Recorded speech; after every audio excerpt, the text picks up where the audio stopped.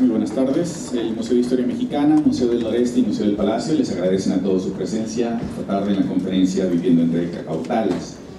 Antes de dar inicio a la conferencia, les vamos a pedir por favor tengan la amabilidad de apagar celulares o ponerlos en formato silencioso, así podemos evitarnos cualquier interrupción en la conferencia que va a ser muy anecdótica.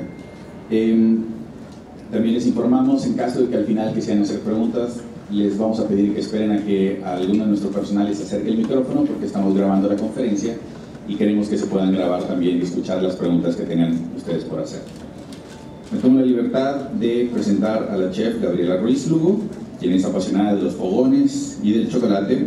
Ella es originaria de Comalcalco, Tabasco, una del cacao en México, e inició sus estudios en gastronomía por la Escuela Culinaria del Sureste en Mérida, Yucatán, y cuenta con estudios adicionales en la Escuela de Galia en Lima, Perú, y en The Pacific Art Institute en Vancouver, Canadá, entre otros. Ella fue ganadora del Premio Nacional Rescate de la Cocina Prehispánica Mexicana, esto en el año 2007, y fue organizado el concurso por el periódico Reforma y Nestlé Food Services. También ganadora del concurso Nueva Cocina Yucateca, esto en el 2010, organizada por el gobierno del estado de Yucatán. Inició su carrera profesional trabajando en algunos de los mejores restaurantes de México, entre los que destaca el restaurante Puyol de Enrique Olvera. Este restaurante actualmente está considerado, según la guía Pellegrino, como uno de los 50 mejores restaurantes en el mundo. Ella es chef propietaria de la empresa Gourmet MX. Esta empresa inició incursionando únicamente en el área de banquetes empresariales, pero eh, como parte del crecimiento en el año 2012 inició ya operaciones como restaurante y este restaurante se ha logrado posicionar como uno de los favoritos y más reconocidos del estado, siendo incluso recomendado en varias listas de viajeros importantes como TripAdvisor y, y Amarco Beteta. En el 2014, la chef Gabriela Ruiz fue invitada en tres ocasiones a Alemania por la embajadora Patricia Espinosa y en Alemania promovió la cocina mexicana y sobre todo la cocina del estado de Tabasco. Esto en una serie de eventos como cenas para el Parlamento alemán, cenas maridajes en diferentes hoteles como el Ritz Carlton en Berlín y el Park Hyatt en Hamburgo. También realizó una cena de gala en residencia de la Embajada de México, esto en honor al secretario de Relaciones Exteriores, José Antonio Mid, y fue representante de la cocina mexicana en el Festival de las Naciones del Mundo, que se realizó en el castillo de Düsseldorf. Y además también participó en varios eventos culturales realizados por la Embajada de México en Alemania. En noviembre del 2014, Gabriela Ruiz fue nominada como Chef Revelación y su restaurante como Mejor Restaurante Nuevo en México y con entrega de premios de la revista Food and Travel, causando gran impresión debido a su corta edad y de ser la única mujer nominada en esta entrega. Próximamente abrirá su tercer proyecto, Historias de Carmela, cuyo concepto es un restaurante donde todos los platos se basan en el cacao y chocolate de Comalcalco, buscando así convertir este producto en una plataforma que dé proyección a este importante producto alrededor del mundo. Demos la bienvenida a la chef Gabriela Ruiz.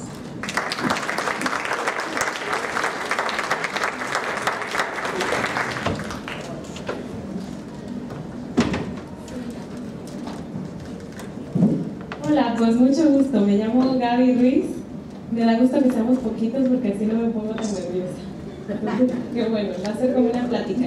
Eh, bueno, antes que nada, ya muchas gracias por la presentación. Como les comentaba, eh, yo soy de Comalcalco, la tierra del, del cacao, la cuna del cacao en, en nuestro estado y en nuestro país. Entonces desde siempre pues ha sido algo con lo que yo he crecido, en mi vida ha estado siempre el chocolate y el cacao.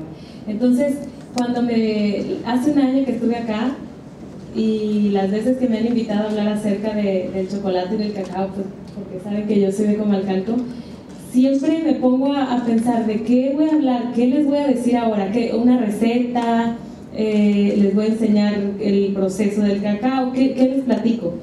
Pero bueno, hace unos meses me di cuenta que pues soy un poquito diferente a, a los demás cocineros pues porque yo nací ahí. Entonces yo tengo algo que contarles, puedo contarles más historias acerca de cómo es vivir en, en, en, este lugar tan peculiar que se llama Comalcalco. Entonces les voy a contar un poquito, el tema se llama La vida en los cacautales. ¿Cómo vamos a empezar? Ahorita vamos a dejar de estar aquí en, en este museo increíble y nos vamos a ir un ratito a Comalcalco conmigo. Se los voy a ir platicando, se tienen que ir imaginando para que vean cómo va a ir siendo. Entonces, Espero que saliendo de aquí les den ganas de visitar mi tierra, mi pueblo y ojalá se puedan ir para allá. Eh, últimamente cuando pregunto si alguien ha estado en, Tabasco me dicen que no, pues porque a veces no pensamos en, Tabasco como un lugar para, para, para, visitar, para ir de turismo, porque igual y, y hay una, una pequeña sombra por el petróleo y todas esas cosas, pero realmente Tabasco es un lugar muy bonito al que vale la pena visitar. Ya al final les voy a platicar un poquito más del estado, pero nos vamos ahorita a Comalcalco, ¿está bien? Muy bien. Entonces nos vamos a ir a la época de nuestros abuelos. Hay que ubicarnos en ese tiempo, no, no estamos ahorita en el 2015. Vámonos mucho, mucho más atrás. Dejamos de sentir frío y empiezan a sentir mucho calor. El otro día yo leía y decía que en Tabasco eh, el agua se respira. Entonces eso me gustó mucho. Entonces empiecen a respirar agua. Tenemos tantísima humedad que sienten que el agua está en su nariz y se empieza a meter en todo su cuerpo. ¿Ya sienten el calor? ¿Lo van sintiendo? Muy bien, me encanta. bueno, pues entonces estamos en Comalcalco, son las 3 de la mañana.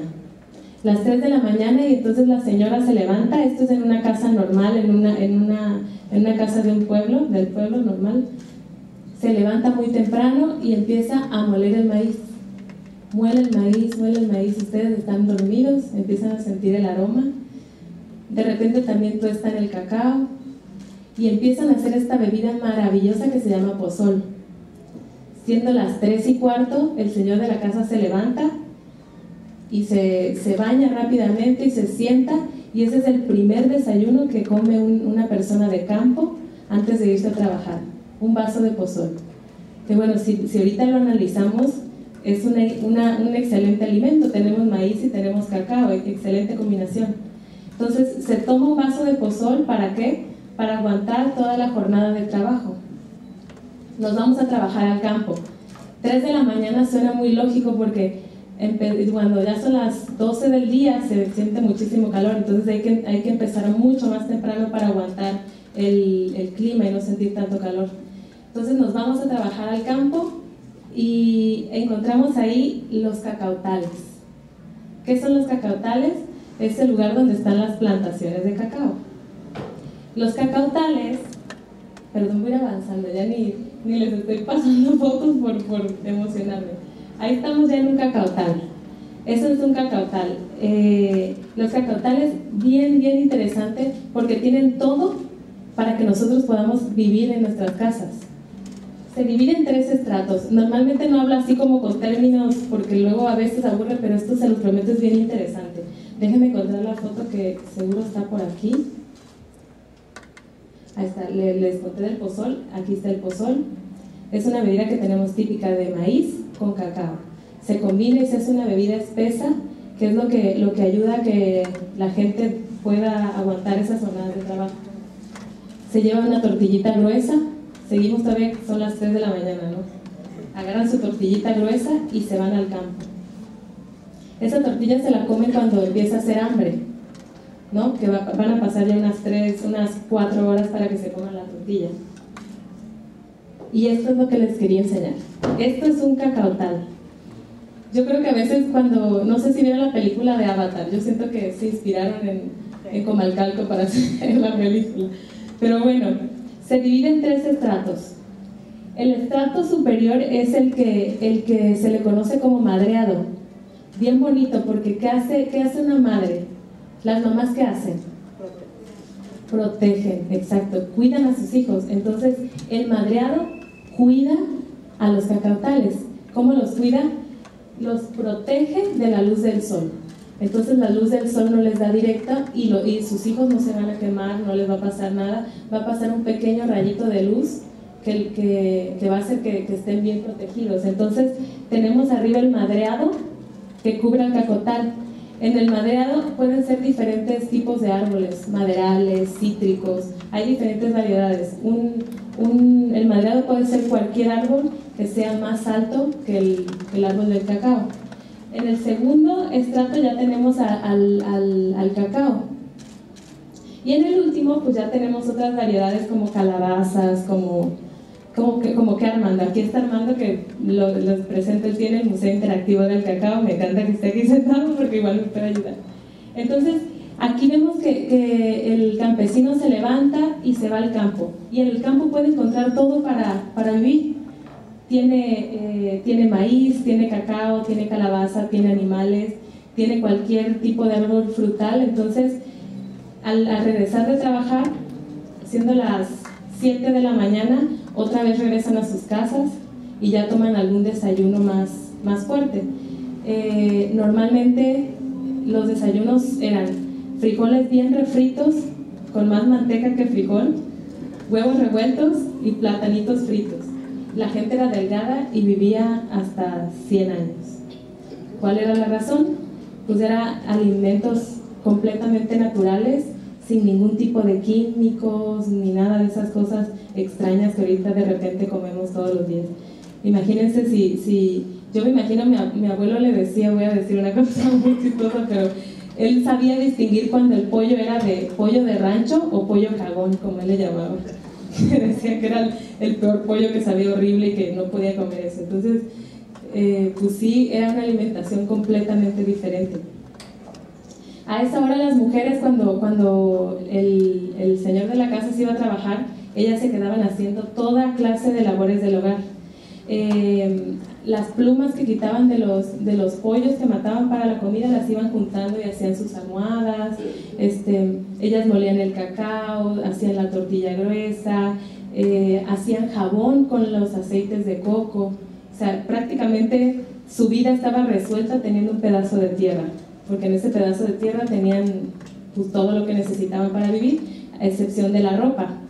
Que bueno, la ropa, pues me contaba eh, Ana Parisot que tiene la Hacienda La Luz, aquí estaba su esposo que se llama Alejandro, que nada más te tenían tres vestidos, uno de diario, uno para, para la fiesta del 14 de mayo, que es nuestra, la celebración más grande que tenemos en el pueblo, y otra para, para la noche, para cualquier cosa que tuvieran que, que salir o algo así. Entonces, sus tres mudas de ropa y eso era todo lo que se tenía que comprar. Todo lo demás, la, la misma tierra se los daba para poder vivir.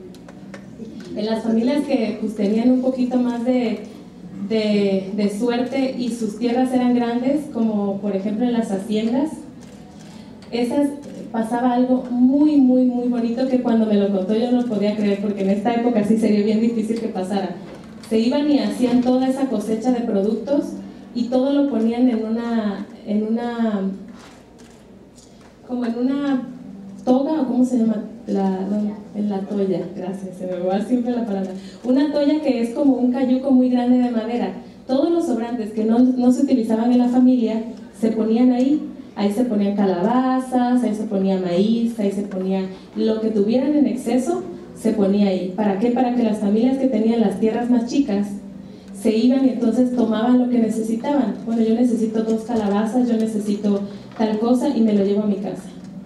Imagínense ahorita eso, yo creo que sí es bien difícil, ¿no? Sí, sí, ahorita es muy difícil que eso pase, pero bueno, en aquellos tiempos en donde estamos ahorita, en este momento, en ese momento sí se puede.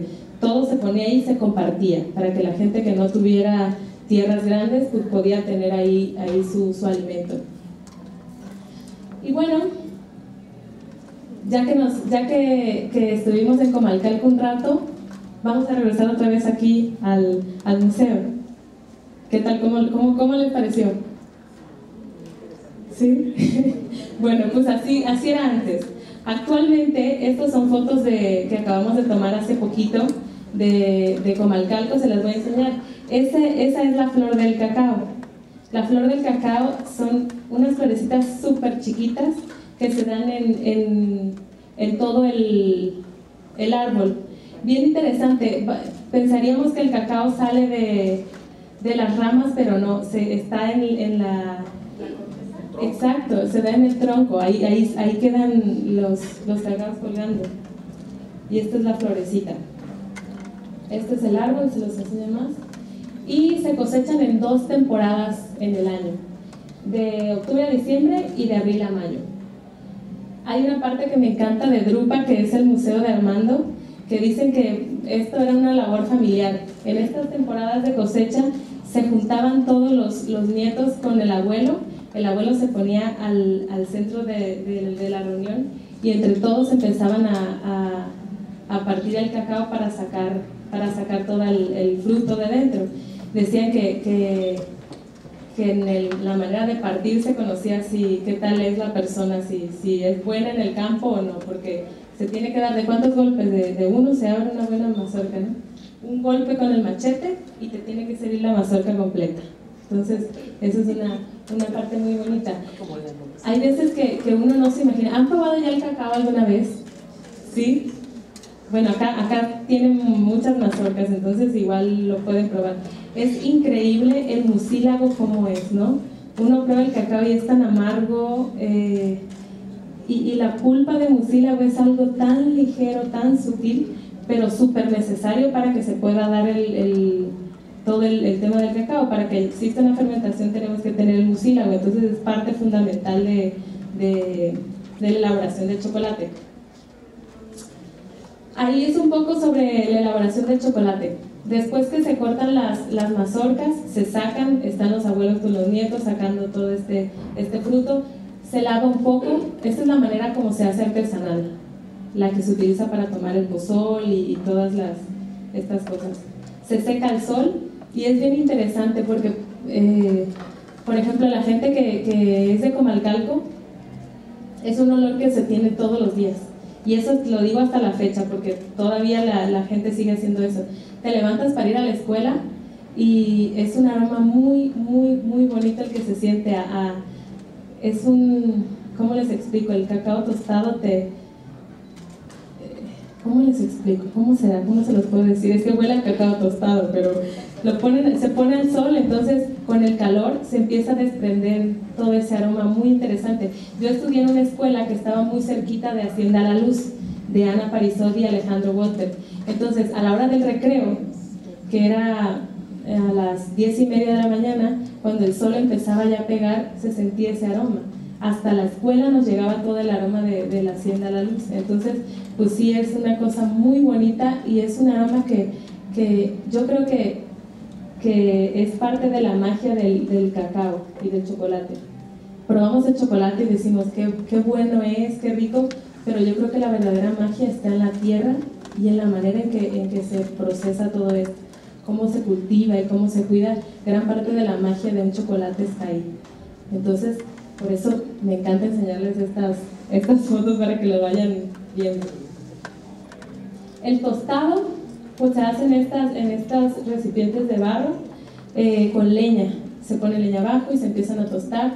Hay diferentes tipos de tostados. Actualmente, pues ya de los tostado medio, tostado ligero, tostado, diferentes tostados. Pero bueno, como se hacía antes, era, se ponía el cacao y cuando empezaba a oler, cuando estaba bien caliente, lo sacaban y con eso hacían el pozole. El descascarillado, eh, hace, un, hace poquito estuve con, en, en, un lugar que se llama La Postrería en Guadalajara, que es de un chef muy bueno, al cual admiro muchísimo, que se llama Jesús Escalera Español. Y estaba poniendo a todos a, a, a quitarle la, la cascarilla, iban casi pelándolo con semilla por semilla para quitarle la cascarita y todo. Y de repente este, Armando nos, nos regaló una, una, una redoma que es un, un, recipiente que se utiliza para quitarle el, la cascarilla. Pones todo el cacao, lo trituras, lo mueves y soplas. Entonces al momento de soplar aquí tenemos que toda la cascarilla se va y queda solamente los puros nibs de cacao le dimos esa redoma y entonces fue como un gran, un, un, gran instrumento para que, para que pueda sacar ya sus nibs muy fáciles. Y eso es nada más, la redoma un pedacito de madera con una, con una piedra. Ahí está ya la fotita del cacao. El metate se hace en metate ya que lo, lo, lo tostamos, se pasa a molerlo y pues aquí está, también puede ser el molino, el molino pues ya viene después, después del metate, pero ahí sale el molino que también hace la misma función. Lo combinamos siempre con azúcar, con canela y pimienta tabasco, eso es lo que se le, lo que se le pone, almendras también de vez en cuando, pero el chocolate de mesa normalmente le ponemos esos tres ingredientes. Y pues ahí está el, el chocolate de mesa. Una, algo, una, una anécdota que me contaba Ana Parisot es que ella estaba una vez en el Salón del Chocolate en París y había un, ella traía sus barritas de, de chocolate de mesa circulares y se le acerca un señor y le dice, tú no puedes estar haciendo eso. Y Ana se no entiendo señor. Dice, yo ya patenté la, la barra circular. Tú no la puedes tener así porque ya está patentada por mí y te puedes meter en un gran problema.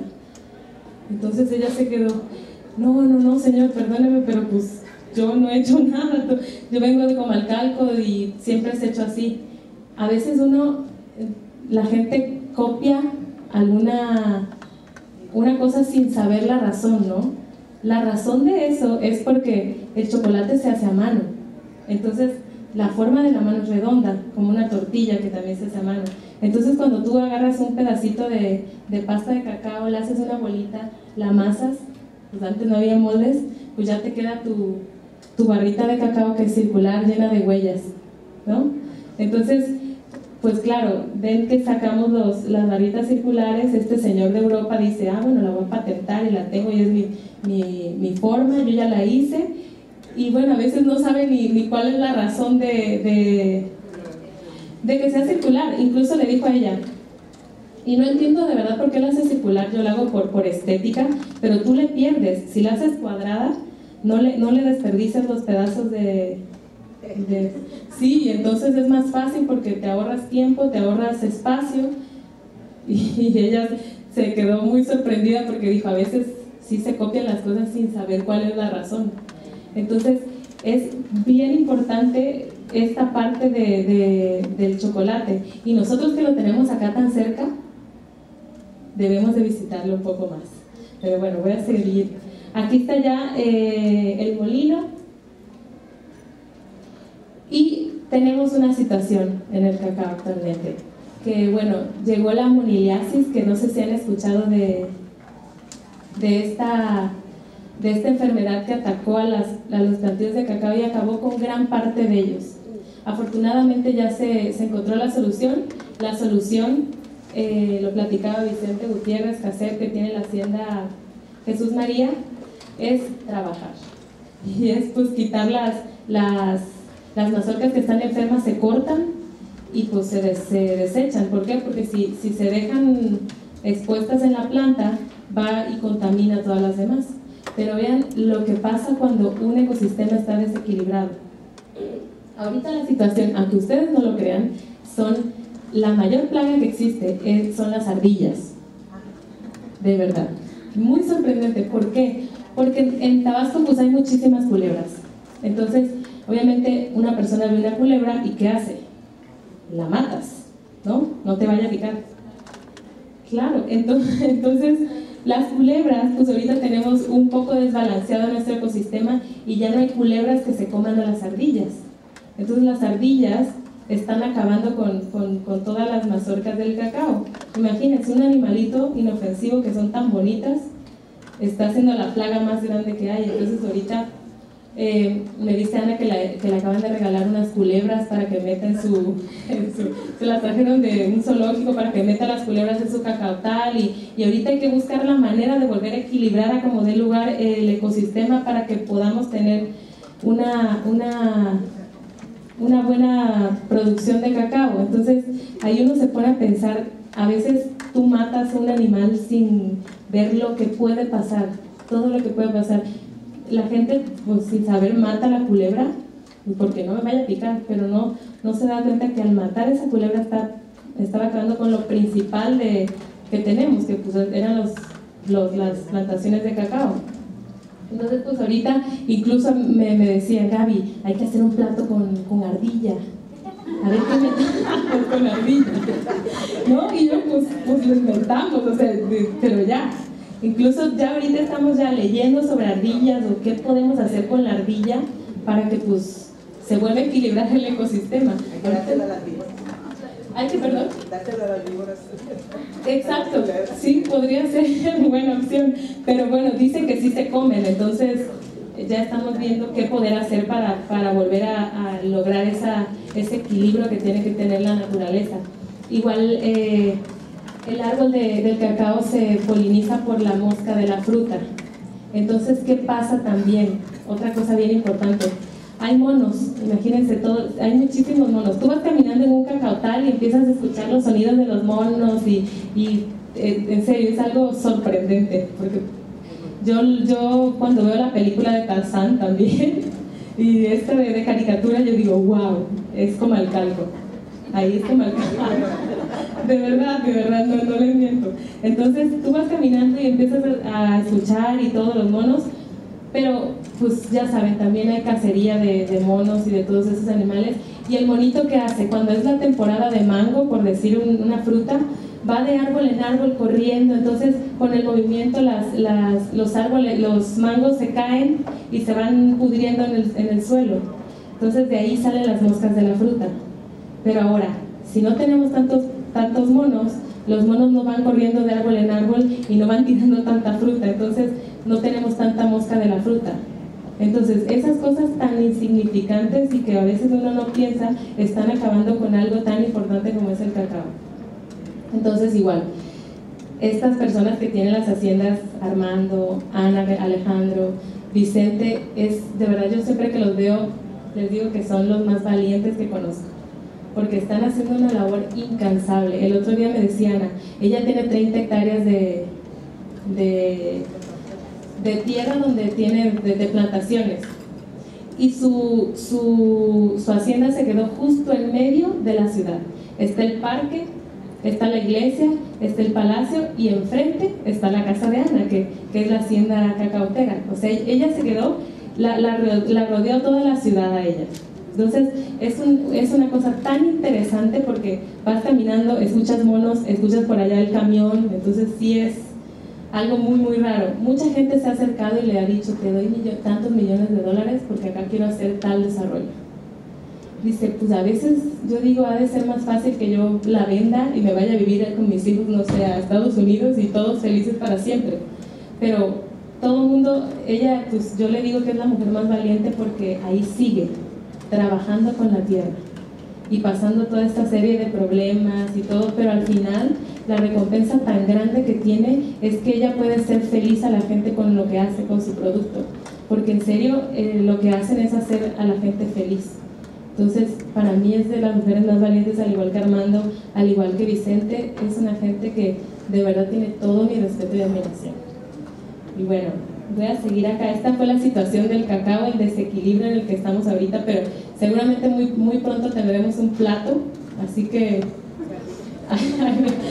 A ver, igual se vende por acá la, ardilla, compren acá para hacerla estilo cabrito, ¿no?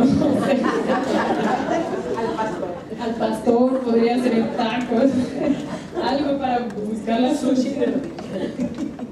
Pero bueno, a raíz de todo eso y al, al, yo tener este compromiso con, con, el lugar, con mi tierra, y más que un compromiso es como el amor hacia la tierra y ver todo lo que pasa en mi pueblo y ver todo eso, yo desde chiquita, bueno, mi papá nos dormía mi hermana y a mí con un cuento.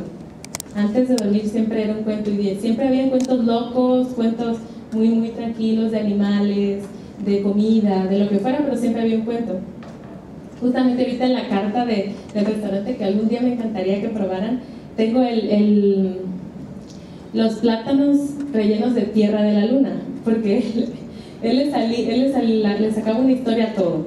Nos decía mi hermana y a mí que, que a la hora que íbamos a comer unos frijoles refritos, nos decía, no, es que ustedes no están comiendo frijoles refritos. Eso nadie se los va a decir, ¿eh? pero que en secreto ustedes comen tierra de la luna les se las traje directamente para que hoy la comen. Es la única que se coma y es, es diferente porque sienten, esta sí se puede comer y saben muy rica. No son frijoles, es tierra de la luna. Entonces, mi hermana y yo con una sorpresa, es tierra de la luna. Y empezamos a comer los frijoles. Y entonces los frijoles ya no eran solo frijoles, sino ya tenías una historia de una emoción total de, de que era tierra de la luna. Entonces, a raíz de eso, yo siempre tuve una cosa en mi cabeza, algo en mi cabeza siempre estuvo ahí de algo con el tema del chocolate, algo tenía que hacer y yo no me sentía tan tranquila de estar en un restaurante sirviendo, sí, postres con chocolate, pero yo necesitaba hacer algo más. Entonces, a raíz, a raíz de eso sale este proyecto que se llama Historias de Carmela. Historias de Carmela, y ahorita les voy a contar un secreto que casi no digo, pero ahorita van a saber. Es una, una muchacha, una niña de Comalcalco, que vive en los cacautales. Ella todo el día anda en la tierra. A ella no le gusta usar zapatos, le choca peinarse porque le duele la cabeza. ella le encanta andar descalza y en la tierra. Tiene una serie de, amigos que pues no necesariamente son personas, sino más imaginarios. Tiene, eh, por ejemplo, Carmela agarra una hojita de papel, la dobla, hace un barquito y justo cuando termina de llover que quedan los charcos, pone su barquito, se sube en el barco y empieza a navegar en su charco de, de, agua. Entonces, mientras va navegando en, en, su mar que ella inventó ella, sale el pochitoque gigante, que pochitoque es una tortuga, una tortuga que tenemos en Tabasco. Entonces ahí sale su pochitoque y entonces la acompaña en su recorrido y, y llega al cacautal y empieza y, vuela y todo. Entonces sale de esto, Carmela, de contarte historias de realismo mágico para que tú eh, entiendas lo que es la tierra de donde sale el chocolate. Entonces lo que buscamos aquí es que, que, por medio de este personaje se vaya entendiendo qué es lo que está pasando en la tierra, cómo era antes, cómo es ahora y todo lo que se puede hacer para ayudar. Entonces, bueno, les puedo leer, nunca sale su, su cara, siempre son sus pies y son sus manos. Tiene alrededor de 16 años y hace poquito se enamoró. Encontró a su güero que tiene la piel de horchata y los ojos, y los ojos oscuros como chintul. Entonces, si me permiten, les leo un pedacito de una historia. ¿Les parece bien? Este es el barquito que les digo. Y esta es una, una, una reflexión que ella hizo un día. Se las voy a platicar cómo va. Dice, los chocolates europeos son majestuosos de una perfección rotunda que impresiona, sabor sublime, aroma embriagador, de imagen imponente y brillo deslumbrante. Pero yo mejor les cuento del chocolate de mi pueblo, Comalcalco. Aquí el chocolate tiene espíritu guerrero y alma aventurera, tiene historia, leyendas de nuestros antepasados y cuentos de los abuelos, tiene esfuerzo, huellas de manos trabajadoras de gente que da la vida en el campo. En mi tierra el chocolate tiene corazón. Entonces, lo que Carmela busca es que nosotros no veamos tanto hacia lo que hace la gente en otros países, sino que veamos lo que nosotros tenemos aquí. ¿Cómo, cómo se hace? Cómo, ¿Qué es lo que nosotros hicimos?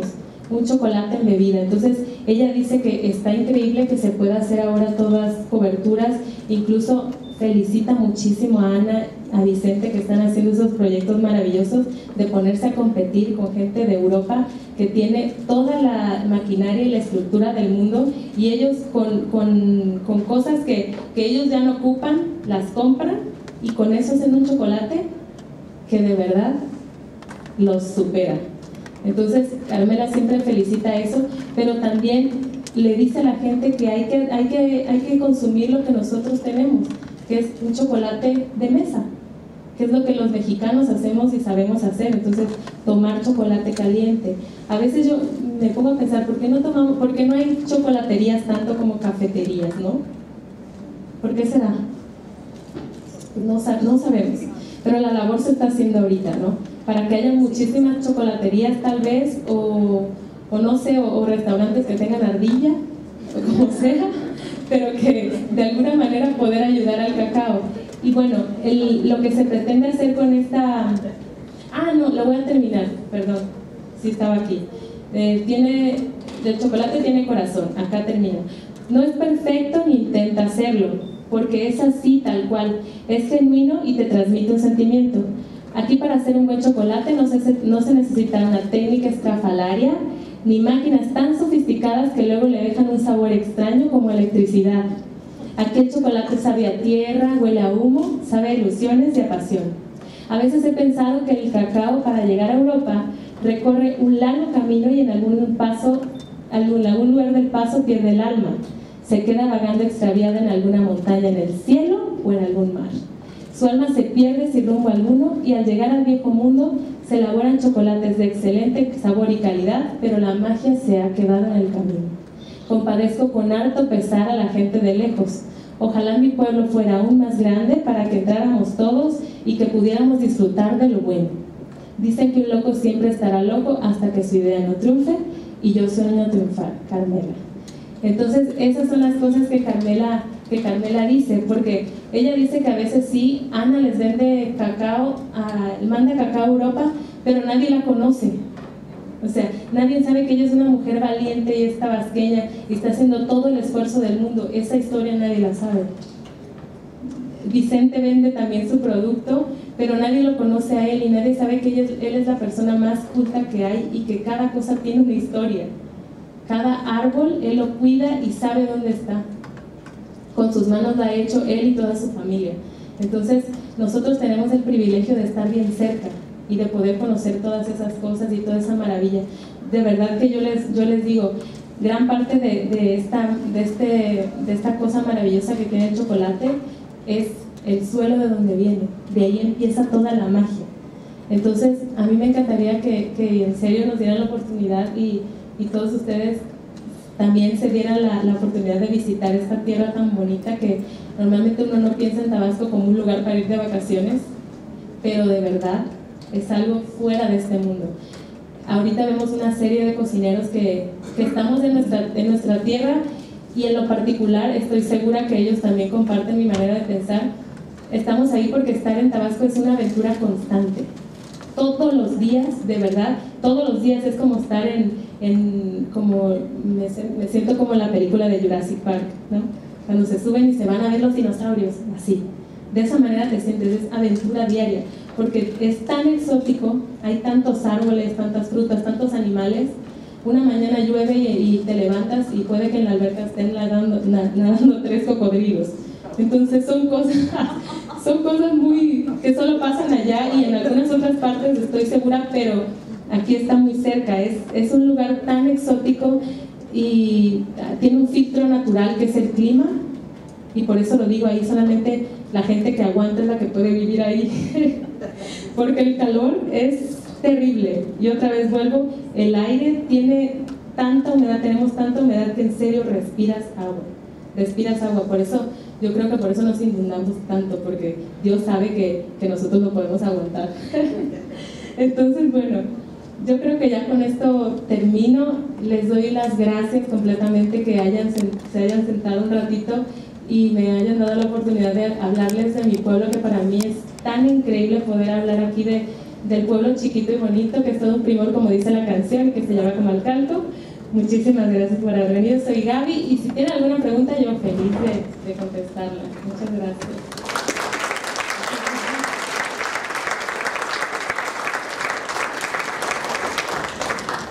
¿Alguien? ¿O, o expliqué muy bien? Hola. Javi, perdón, este, ¿qué, culebra es la que están, que quieren meter para controlarlas? Pues mire, la culebra que más hay en Comalreco es la nauyaca. La nauyaca y es la que ahorita casi no, no hay. Esa fue también la que mandaron a la hacienda a la luz. Porque de hecho existe una, una, una culebra, no serpiente, sí. que se conoce como ratonera o ardillera, que no es venenosa, que se podría mantener sin riesgo alguno. Sí, incluso mandaron una, unas de esas también que son muy grandes. Amarillas. Amarillas, sí, también. Creo que esa sería una alternativa extraordinaria porque si meten una huilla también con la cantidad de los Vuelve a... que estás exponiendo. ¿no? Sí, sí, sí. Pero sí, tiene, esas mandaron también de la amarilla muy grande que no es venenosa. Yo no sé si las boas también coman ardillas. También. Pero no sé si tengan la agilidad como porque uno de los problemas es que la boa es mucho más lenta que la ardillera. Sí. Porque usa la ardillera antes de los árboles y se mueve como... Ah, ¿Se llama, ¿Cómo se llama esa? Ardillera o ratonera. La, ardillera o ratonera. Hay un libro que vale la pena que, que, que, vean para esto, que sí. Álvarez del Toro, el de sí. los reptiles de Chiapas. Desgraciadamente okay. no existe para Tabasco un trabajo así tan completo con los reptiles, sí. donde viene todo género y especies de culebras serpientes Claro. Especialmente puede encontrar mucha información Muchas gracias. sobre ¿Cómo, se, ¿Cómo me dijo que se llama otra vez? Miguel Álvarez del Toro. Como se llama el zoológico de Gutiérrez, Miguel Álvarez wow. del Toro. Tiene Buenísimo. tres libros maravillosos. Las aves de Chiapas, Ajá. los mamíferos de Chiapas y los reptiles de Chiapas. Increíble. Y lo investigo llegando. Muchísimas gracias, muy amable. Gracias. Bueno, buenas tardes. Buenas tardes. En otra, otra opción ahí para considerarse y analizarse es, por ejemplo, en caña de azúcar, es un problema común, es la rata de campo, que es un movimiento rastrero, y, y, una solución ecológica sin utilizar químicos ha sido eh, eh, en algunos lugares muy exitosa el, el, liberar y, y, dar las condiciones para, para el, la reproducción de aves rapaces, eh, aguilillas, búhos, etc. Entonces se cuenta que se colocan una serie como de pedestales muy altos facilitas que llegue y se pose ahí el, aguililla y, su área de, visualización es muy amplia y haz de cuenta que, que exterminan todo, o sea, exterminan, controlan parte de la rata en particular. Había que analizar, como dice el amigo, los imponderables, pero esa es una solución ecológica, que ha, dado resultado en toda América Latina y, este, y, y es impresionante cómo nada más con que facilites, yo creo que ahí es más fácil porque en la caña de azúcar como se desmonta todo, no hay dónde colocarse. Pero ahí, como tú explicabas, los tres estratos de la vegetación, entonces en el estrato superior de la vegetación, ahí hace cuenta, fácilmente se posan ahí lechuzas, lechuzas águilas y todas las aves rapaces y tiene una capacidad y una eficiencia tremenda en el control de, de X, Y organismo que les vaya a apetecer. Claro. En ciertas, esa es una. Y la otra, yo quería hacer un comentario sobre el negocio.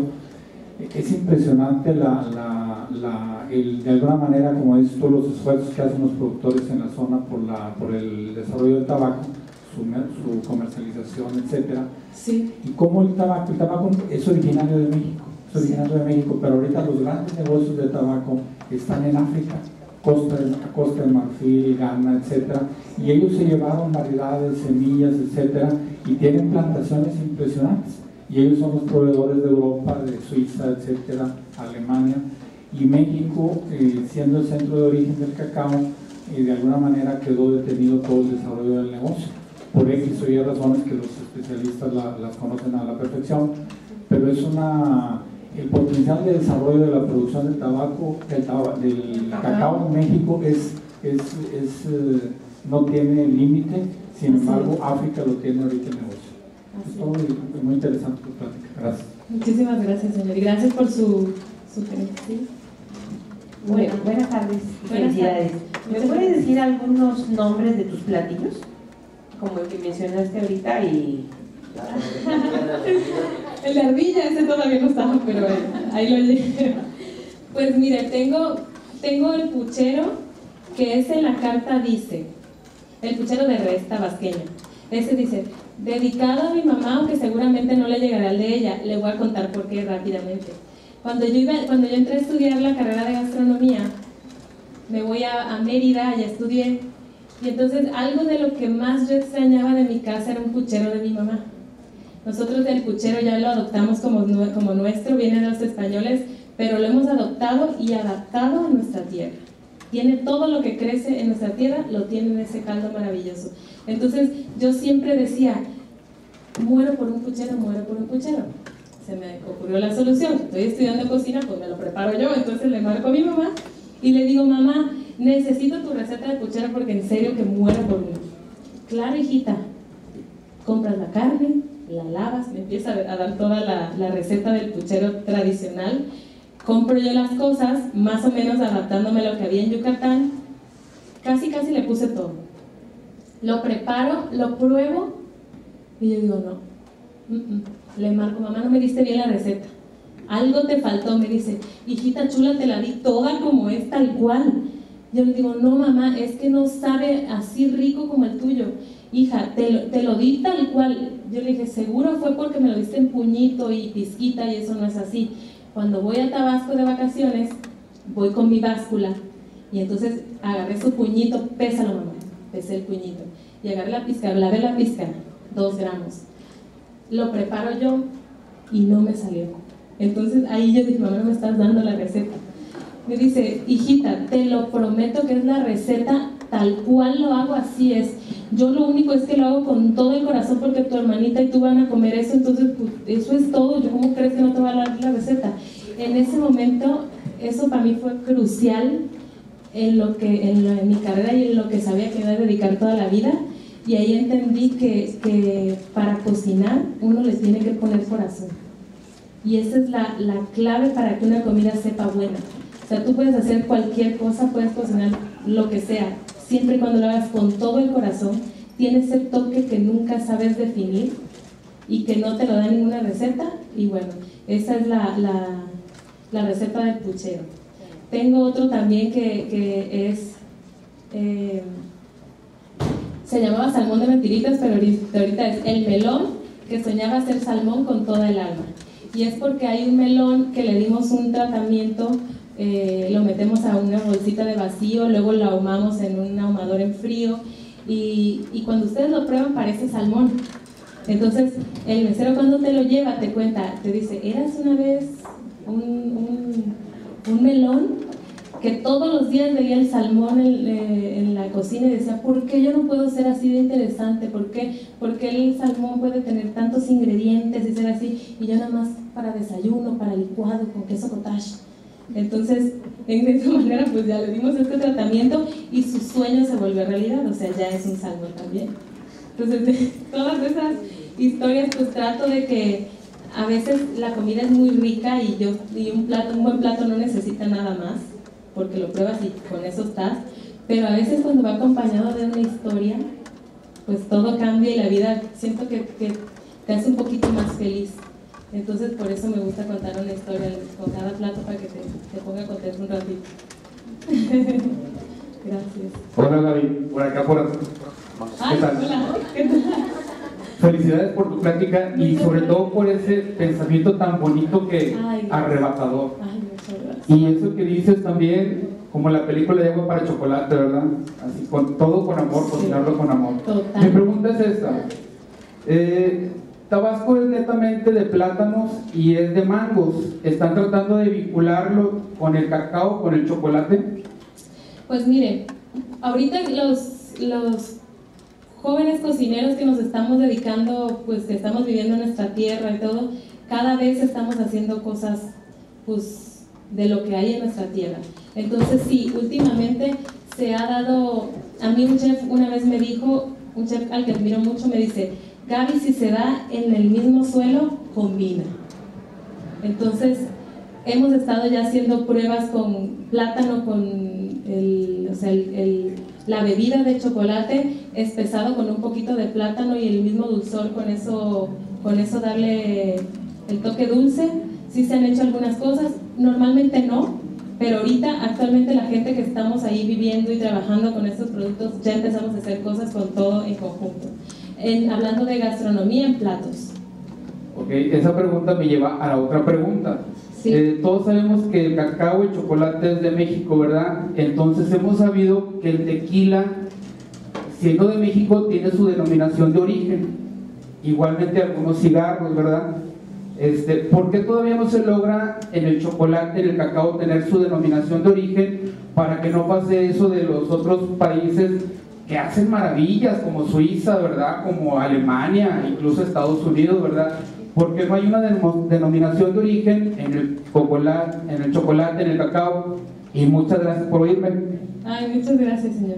Pues mire, ahorita eh, estamos, eh, Ana Parisot y Alejandro están trabajando en algo, en algo de esa manera. No me gustaría yo adelantarme y decir cosas que no, que no sean ciertas, pero ellos están trabajando en hacer algo muy interesante con, con algún tipo de denominación. La palabra chocolate sí ya no, no se podría porque hay muchísimas variedades. Entonces lo que se pretende hacer es igual como una variedad en específico, con eso trabajar para que pueda ser algo, algo por el estilo.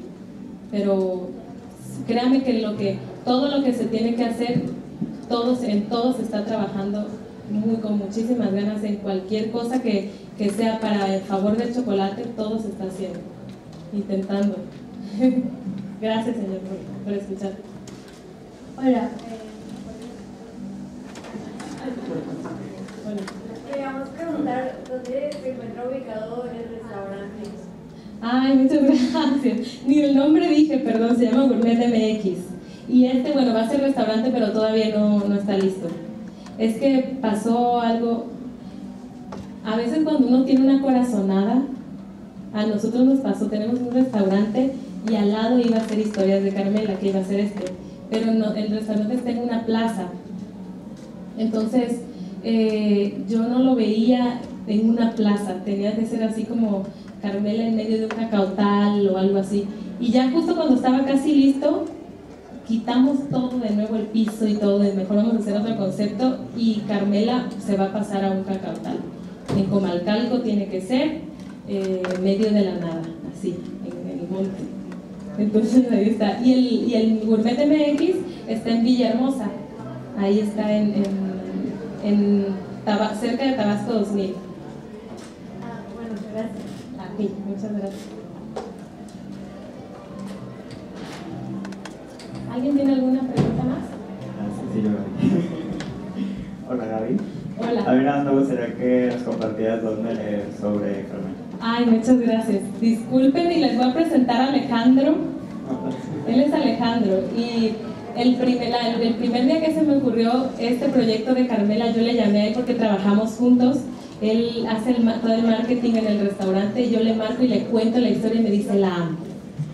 En ese momento dije, wow, muchas gracias. Y somos un equipo bien padre. Él escribe las historias, entre los dos escribimos, las sube. Entonces, eh, ay, ching, ya hasta dije el secreto que no va. Sí, porque normalmente piensan que Carmela sí existe. El otro día le invité a cocinar el 14 de febrero al restaurante y bueno, es un personaje creado, pero hicimos todo un show para que, para que todo el mundo creyera que sí Carmela dentro de la cocina, pero cuando pedían conocerla, todo el mundo la quería conocer, entonces yo, ay, bueno, en un momento viene, ella se pone un poquito nerviosa con la gente, pues ya ven que ella está en el pueblo, ella es niña de pueblo, no le gusta salir, pero ahorita que se le pasa el nervio yo los paso con mucho gusto. Y ya cuando los pasamos a la cocina, Carmela ya se había ido. Entonces, entonces la realidad es que Carmela, pues somos nosotros, es un equipo que de, de, pues nosotros que nos encanta nuestra tierra y eso es lo que hacemos. Y gracias, Alex. Gracias al licenciado Agustín que está aquí también acompañándonos, que es un súper promotor de Carmela, al igual que la maestra Cecilia. Muchas gracias a ambos por ayudarme siempre con este proyecto que yo amo y adoro. Muchas gracias. ¿Alguien más tiene alguna pregunta?